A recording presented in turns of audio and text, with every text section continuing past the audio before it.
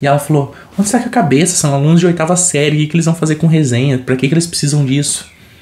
E daí no dia, cara, nessa época eu era muito explosivo, assim. E a minha cabeça, na hora, assim. Daí eu só levantei e falei pra ela: Olha, escuta aqui.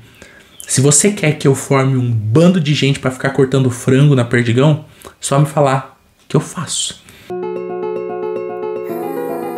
Eu fui professor por cinco anos e o meu pior salário como professor foi R$ 8,22 por hora e o melhor R$ 21,54 por hora. E eu cheguei a trabalhar em três períodos. E eu costumo dizer que eu me tornei professor meio que por acidente, sabe?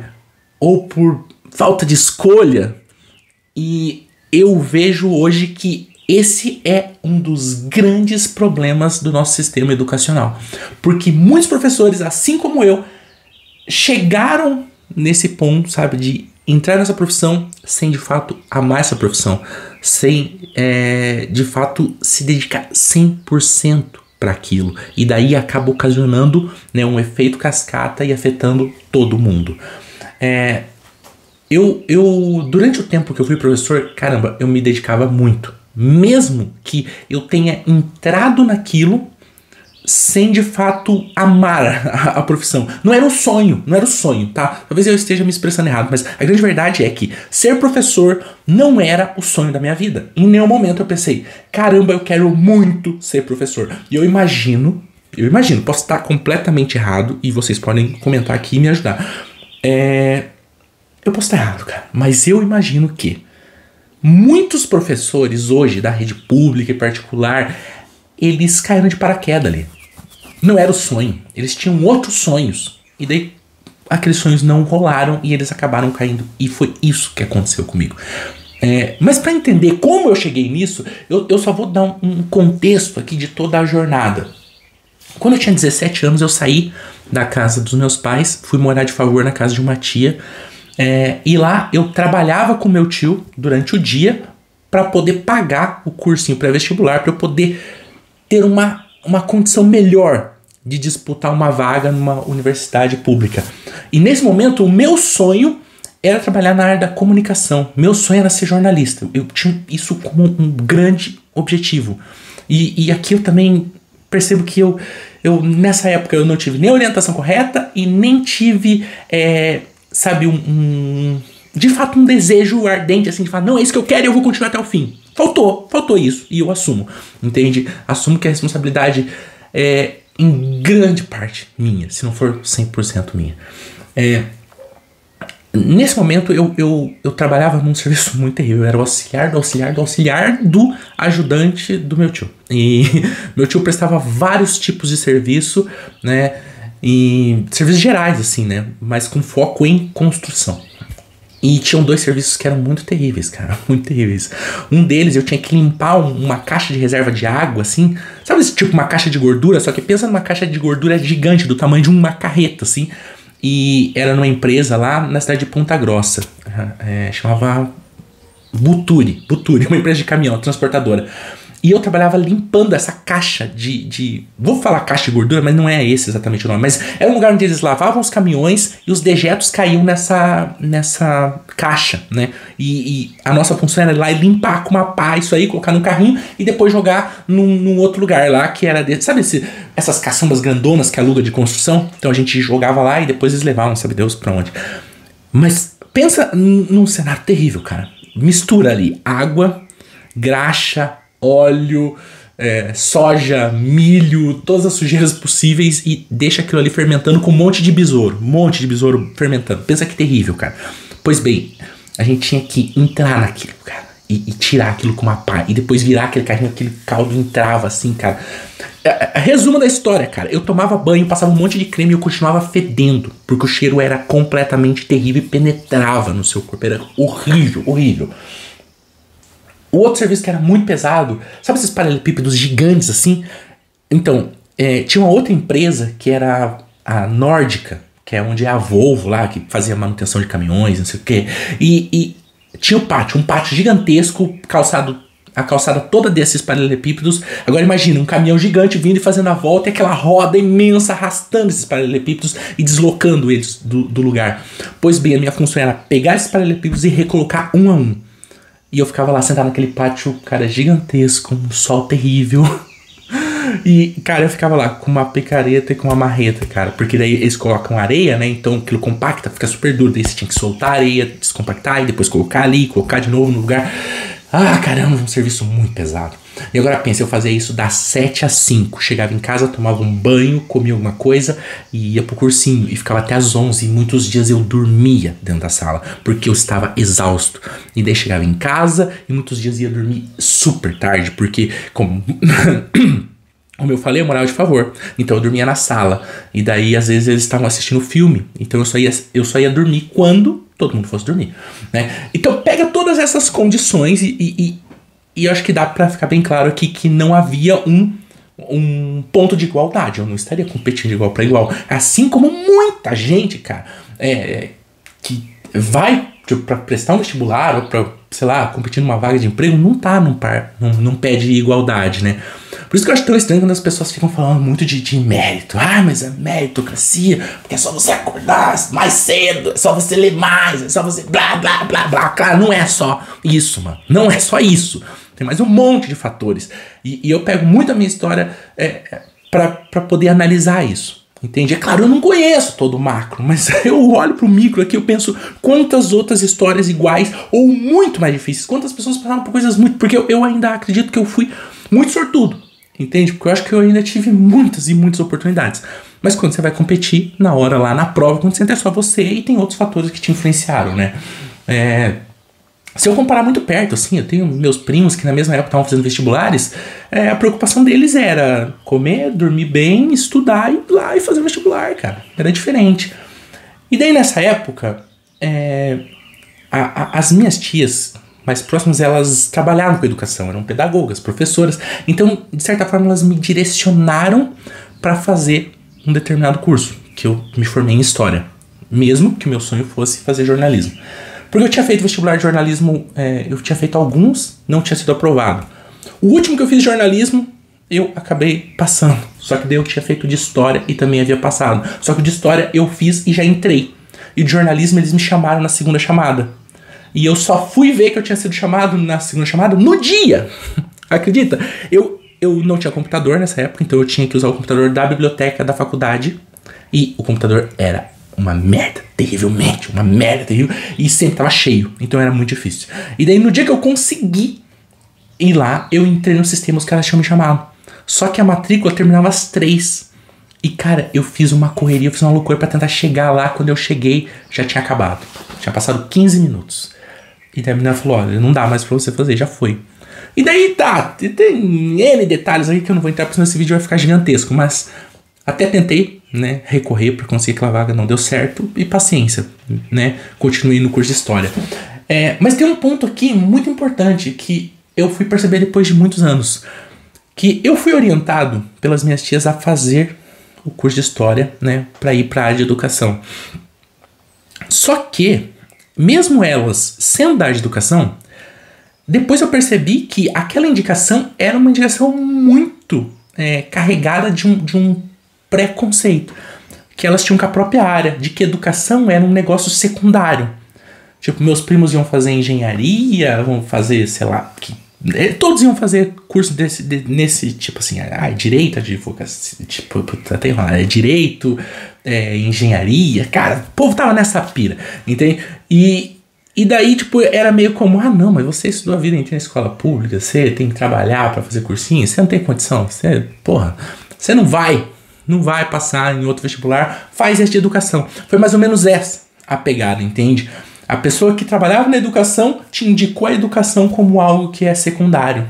E daí, se você analisa isso, você entende muito do nosso cenário, né, cara? De olha o, o nível que é a educação. Porque muitas vezes a gente fica muito preso jogando tudo é, nas costas da política, porque daí fica, ah, mas é porque era, era o, o, presidente tal e ele não fez nada, e agora esse presidente tal e ele também não faz nada, e o próximo e a gente fica muito nessa de sempre jogar pros outros, mas a gente não vê que muitas vezes nós não tomamos uma autorresponsabilidade para mudar os cenários, entende?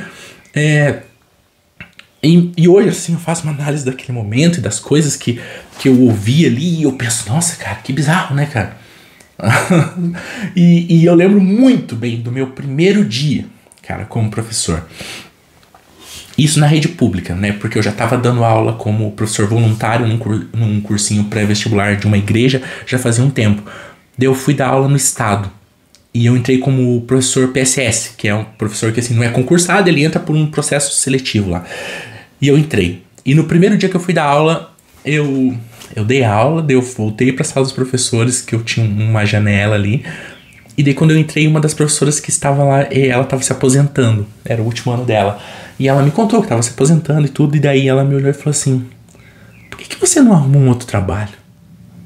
Ela falou: "Você é tão jovem, cara. Eu tava ouvindo sua aula, você é um cara inteligente, desenrolado. O que você tá fazendo aqui?" Ela falou: "Foge enquanto dá tempo." E eu lembro que ela saiu da sala dos professores e eu fiquei tipo, uau, uau, uau, uau. Que boas-vindas, né, cara? E eu entrei com um gás tão grande, eu tava tão empolgado, eu queria fazer tudo tão diferente, eu tava naquela, sabe? Ah, eu imagino que a grande maioria das, das pessoas que estão ali se formando e já entram nesse mercado de trabalho, a pessoa entra com sangue no olho. Só que daí o ambiente te destrói e te maceta e te esmaga e fala, mano, relaxa. É, em vários momentos eu sentia que só faltava os professores falarem para mim, mano, calma, relaxa, não vai rolar isso que você quer fazer, entende? Eu acho que o, o ponto máximo, assim, foi um dia que a, a pedagoga me chamou na sala para me dar tipo um puta esporro porque eu tava ensinando os alunos como fazer uma resenha e daí eu trouxe um, um, um, uns textos assim, falei, cara, vamos trabalhar em cima disso. E eu tava trabalhando com eles ensinando como fazer aquilo. E ela falou: onde está que a cabeça? São alunos de oitava série, o que, que eles vão fazer com resenha? Pra que, que eles precisam disso? E daí no dia, cara, nessa época eu era muito explosivo, assim. E a minha cabeça, na hora, assim. Daí eu só levantei e falei pra ela: olha, escuta aqui. Se você quer que eu forme um bando de gente para ficar cortando frango na perdigão, só me falar que eu faço. Eu falei, mas eu gostaria de formar pessoas preparadas para escolher. Se elas quiserem ir trabalhar na Perdigão, ok, mas se eles quiserem ir para outro lugar, eles queriam. Eles podem ter a escolha. Eles podem ter a possibilidade de fazer isso. Né? E isso vai ser através de ter conhecimento. Aquilo virou uma discussão terrível. O diretor estava sentado só dando risada. O diretor só ficava, mano, esse maluco é muito doido. É. Só que eu tava muito empolgado, né? E aos poucos aquelas coisinhas foram minando, minando, minando até que eu entrei na escola particular. Daí, cara, foi tipo começaram a jogar, sabe, pá de cal, assim, falar, mano, acabou pra você, já deu, velho, já deu. Enquanto eu tava no cursinho lá, como voluntário, daí depois eu entrei no estado. Cara, eu curtia demais, eu amava o que eu tava fazendo, cara. Por mais que eu tenha caído de paraquedas ali e não fosse o sonho da minha vida, eu tava entregando tudo que eu tinha, cara. Eu amava estar tá ali, sabe? Eu ficava horas preparando a aula. Quem foi meu aluno sabe, quando eu entrava na sala, cara, eu encarava aquilo como um show. Tipo, vamos preparar isso aqui para que seja uma experiência incrível. No cursinho eu entrava, cara, eu metia uns slides gigantes, música, era uma doideira, cara, era uma doideira total a aula, cara. E os alunos aprendiam. O que... Várias vezes eu pensava, caramba, velho, será que eles vão entender com essa maluquice toda? Era, era, sabe, eu, eu eu queria entregar uma experiência para essas pessoas. E, e, eu tava me dedicando demais, mas a escola particular me destruiu, cara. Sério. Foi como se eles pisassem na minha cabeça e fossem só afundando, assim. Até que eu largasse mão. Daí, assim, aos poucos eu fui largando mão das aulas. Até que chegou uma hora que eu fiquei só na particular, que era onde me pagava mais, né? E, e também porque no estado, cara, eu comecei a ver algumas situações que me doíam muito. Demais, demais, demais, cara é, uma delas, um dia, uma menina chegou, bateu na, na porta da sala, me chamou, falou: professor, você poderia contribuir com uma vela, um pacote de vela? Eu falei: como assim? Ela falou: eu queria saber se amanhã o senhor poderia me trazer um, um pacote de vela para me doar. eu falei: eu posso, mas eu fiquei meio assim, não entendi. Depois eu perguntei na sala dos professores, daí os professores falam: Ah, não, ela tá pedindo aí porque pegou fogo na casa dela, os pais dela morreram e agora tá ela e os irmãos e eles estão morando no resto da casa queimada e eles não têm luz. Eu fiquei, como é que é? Cara, isso os professores sentados assim na hora, na hora do intervalo, comendo, dando risada e contando isso como se fosse a coisa mais tranquila, assim. Daí eu falei, e os irmãos dela? daí uma professora falou: ah, o irmão mais velho dela tem 15 anos. Vocês entendem o tamanho da loucura? Os pais morreram queimados, cara, na casa e as crianças continuavam vivendo dentro da casa. O irmão de 15 anos estava trabalhando em obra como servente para conseguir dinheiro para manter os irmãos juntos, porque eles não queriam de forma alguma que os irmãos se separassem. E daí tinha essa menininha e tinha mais duas crianças pequenas. Eu sei que assim, era, era um cenário, cara, pavoroso. E quando eu ouvi aquilo, eu falei, gente, mas e o que a gente pode fazer para ajudar? Fora, fora só dar uma vela, cara. Daí a, a pedagoga falou para mim assim: não dá para fazer nada. Porque senão o conselho tutelar vai vir, vai pegar essas crianças e vai espalhar. Então a gente tem que ficar quieto. Eu falei, pô, mas eu, eu não sei, cara. Eu falei, o ficar quieto aqui talvez seja ainda mais cruel, talvez, né? É, eu, eu, lembro que naquela época eu fiquei mal, cara. Eu fui mal embora e depois daquela. Sabe, a, aquela coisa ficou reverberando por muito tempo em mim, né? E. Ai, cara, é, é muito doido falar sobre essa fase, porque foi muito difícil. Porque eu, eu, eu dava aula nessa escola e as crianças iam para comer, cara. Você tem noção de você tá dentro de uma sala de, de quinta série, assim? Tipo uma parada muito bizarra, cara. Você, você tá dentro de uma sala de quinta série para dar a terceira aula e, e os alunos, a tu, tipo, eles estarem muito assim, polvorosos e você, por um lado, você pensa, é uma quinta série, é normal eles estarem empolgados, né? E conversarem e tudo, mas Imagina só, você tá ali e os alunos ficam o tempo todo indo na janela, eles querem ir na janela, querem ir na janela. E, e isso eu tô falando logo das primeiras experiências nessa turma.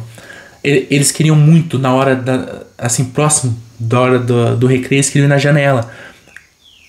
E daí eu saquei, cara, que eles queriam ir na janela porque da janela dessa sala dava para ver a cantina. Porque eles estavam extremamente, tipo, preocupados com, com, com o que ia ter lá, se ia ter o que comer, entende? E, e eu lembro que um dia era bolacha e chá, essas bolachas maisena e chá, e o menininho falou assim: Ah, eu não gosto quando é bolacha, eu falei: Você não gosta de bolacha? Ele falou: Não é porque não sustenta.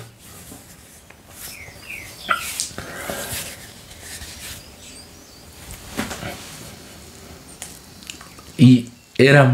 Cara, essa escola foi muito pesada, assim, essa experiência, cara. Porque a hora que batia o sinal, essas crianças saíam da sala correndo desesperadamente para ir pra fila para poder chegar logo, para poder pegar o prato, comer e poder repetir, cara. Eu sei que essa escola, assim, foi, foi muito pesado. Nessa mesma sala tinha um menininho que ele é, ele tinha hiperatividade, cara, e as pedagogas socavam remédio nele e o menino ficava deitado na cadeira, jogado assim, cara, dopado. E, e daí um dia eu questionei, eu falei, por que, que vocês dão isso pra ele? Dela, ah, porque senão ninguém aguenta. A resposta foi, ninguém aguenta.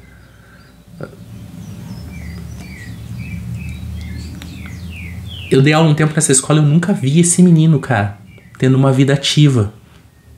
Ele parecia um vegetal. Ele chegava na escola e as mulheres enfiavam remédio nele.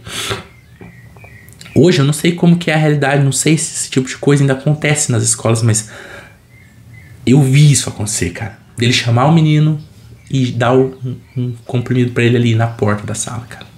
Era muito bizarro. E, e assim, e daí teve a experiência no, no particular, né, cara? Que primeiro dia de aula, eu fui levar meus documentos no RH.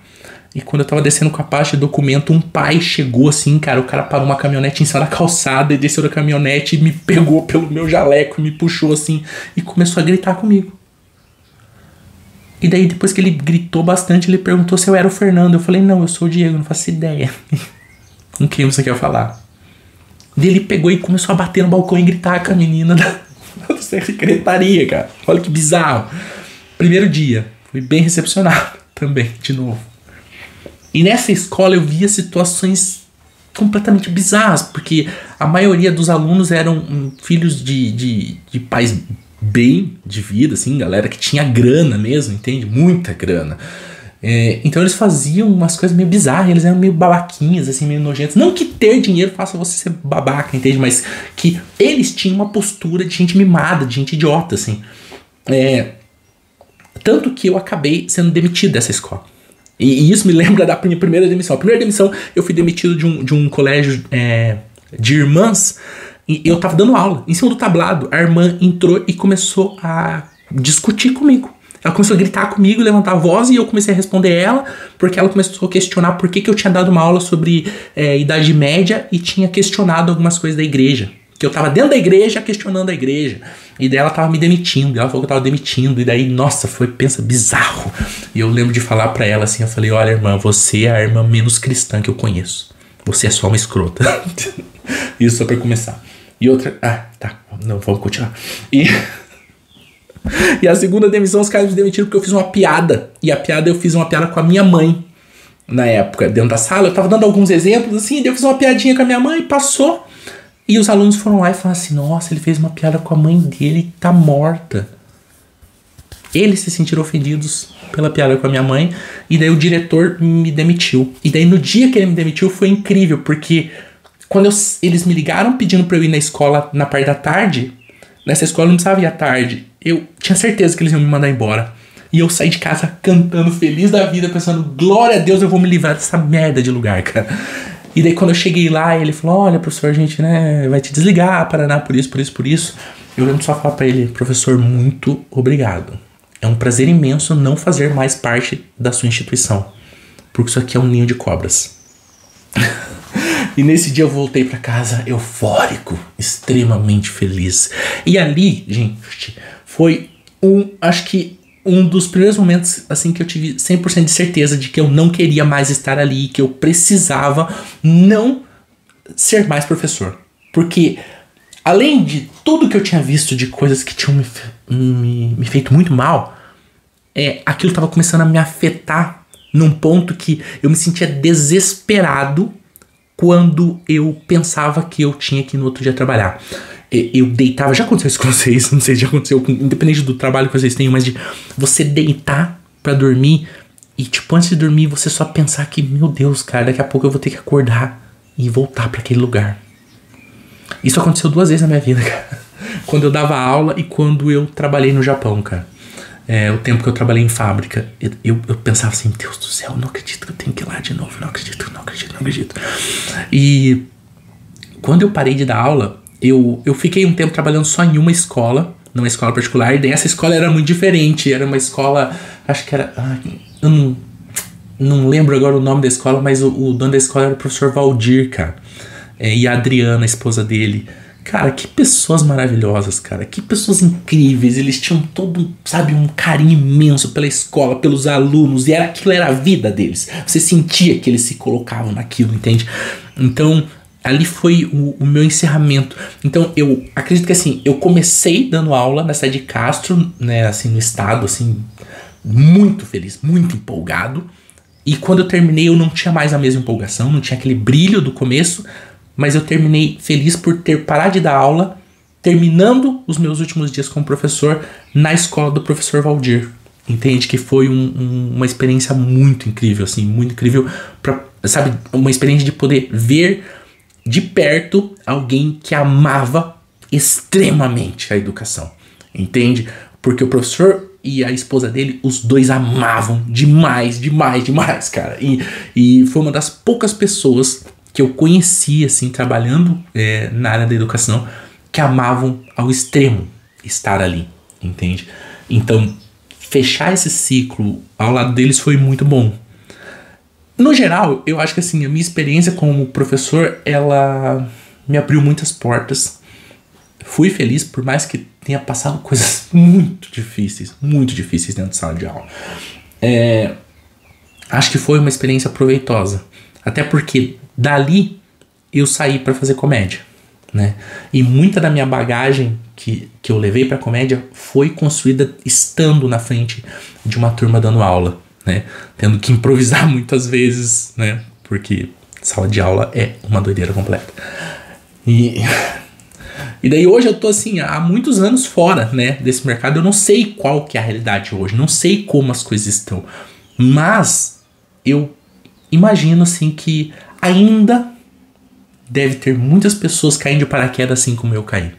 E eu espero que estejam caindo pessoas que é, entrem ali e se empolguem. Assim como eu cheguei, me empolguei, quis fazer diferença, mas que essas pessoas sejam muito melhores do que eu, que sejam muito mais perseverantes e que elas consigam entrar e dar continuidade e que tenham constância, porque eu não consegui. Eu assumo que eu não tive essa força. Né? É claro que, assim, pra minha história, eu acho que foi muito válido, porque eu saí dali, fui fazer comédia, fui morar fora, voltei, hoje eu tenho meu negócio, né? É, até esses dias eu respondi um comentário so, num vídeo sobre professor aqui e uma pessoa falou assim: Ah, qual foi a mudança, a questão financeira? Pô, daí é brutal, né, cara? Pensa, eu cheguei a ganhar 8 reais por hora. Trabalhava em três turnos, cara. Escolas uma longe da outra, altos deslocamentos. É. Na parada era muito doida. Então a minha vida deu um salto muito grande. Mas eu serei eternamente grato pelo período que eu fui professor. E serei eternamente também grato às pessoas que foram meus professores. Porque todos eles é, me ajudaram muito, né? E até hoje eu carrego, assim, cara, as lições que eu, que eu tive com essas pessoas. Então é isso, gente. Então, os professores, parabéns, cara. Para quem continua, parabéns, cara. Que não é fácil, irmão. Não é fácil.